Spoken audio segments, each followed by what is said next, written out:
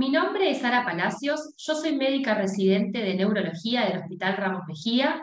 Mi presentación se titula Enfermedad asociada a anticuerpos anti-MOG, descripción de una serie de casos en un centro público.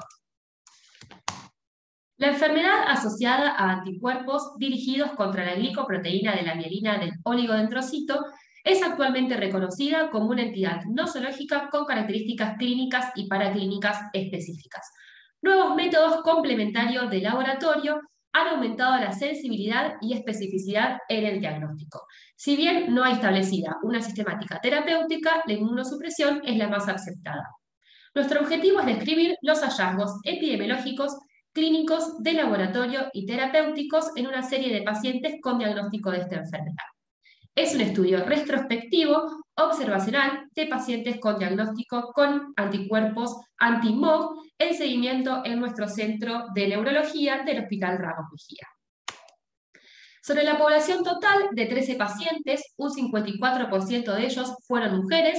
La edad promedio de inicio de síntomas en este grupo fue de 29 años y en la población de hombres fue de 32 años. La presentación clínica inicial más frecuente fueron las neuritis ópticas, un 46% de ellas fueron bilaterales, todas de ellas de presentación en simultáneo. En cuanto al fenotipo más frecuentemente encontrado fueron las neuritis ópticas, Dos pacientes que comenzaron con enfermedad actual en edades pediátricas presentaron un fenotipo de neuromielitis óptica. En cuanto a la clínica de recaídas, los episodios que más frecuentemente encontramos fueron nuevamente neuritis ópticas. En cuanto al tiempo medio de primera recaída, que fue medido en meses, los resultados fueron heterogéneos y cabe mencionar que ningún paciente se encontraba en tratamiento al momento de la primera recaída. Todos los anticuerpos fueron dosados por método CBA y todos los pacientes fueron anti-AQP4 negativos. En cuanto a las características químicas del líquido cefalorraquídeo, un 44% de pacientes presentaron líquidos con características normales y los pacientes que presentaron líquidos patológicos, la mayoría tuvieron hiperproteinorraquia y pleocitosis a predominio mononuclear. En cuanto a la resonancia del céfalo, la gran mayoría presentó lesiones en nervio óptico. En cuanto a la resonancia de médula espinal, que fue realizada en nueve pacientes, Cabe mencionar que dos pacientes mostraron compromiso de cono.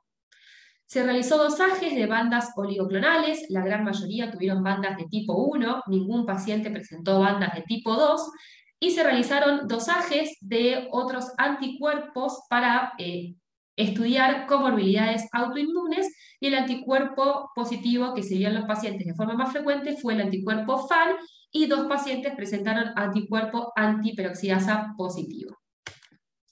En la figura A es una resonancia axial de secuencia STIR de foco en órbita, en la que se ve una neuritis óptica unilateral izquierda. En la figura B es una resonancia de encéfalo axial de frecuencia FLAIR, en la que se ve una lesión hiperintensa en tálamo, en protuberancia y en mesencéfalo. La figura A y B pertenecen al mismo paciente masculino de 39 años de edad. Y la figura C es una resonancia sagital de secuencia STIR de médula espinal en la que se ve una lesión longitudinalmente extensa en un paciente masculino de 60 años. En cuanto al tratamiento, la primera línea que se utilizó en todos los pacientes fueron pulsos de metilprednisolona, un gramo de endovenoso por 3 a 5 días. Dos pacientes por falla terapéutica requirieron terapéutica con plasmaféresis. En cuanto a las recaídas, también todas fueron tratadas con metilprednisolona endovenoso.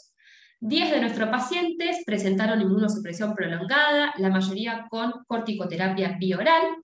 Cuatro pacientes requirieron rituximab y tres pacientes con azatioprina. Actualmente tenemos ocho pacientes con tratamiento crónico, la mayoría con prednisona, tres con rituximab y uno con azatioprina.